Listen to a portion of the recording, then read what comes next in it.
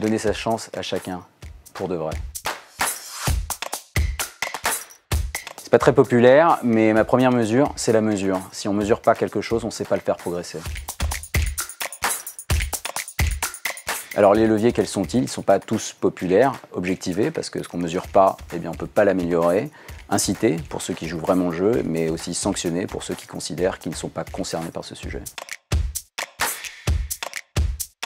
En 2035, on aura réussi quand on aura le plein emploi dans les quartiers politiques de la ville.